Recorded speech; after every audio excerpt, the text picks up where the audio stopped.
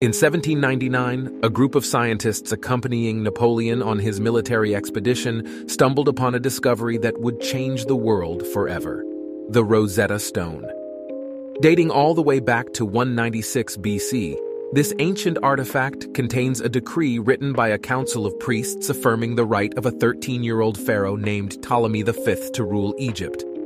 But what makes the Rosetta Stone so remarkable is that this decree was written in not one, not two, but three languages hieroglyphic, Demotic, and Greek.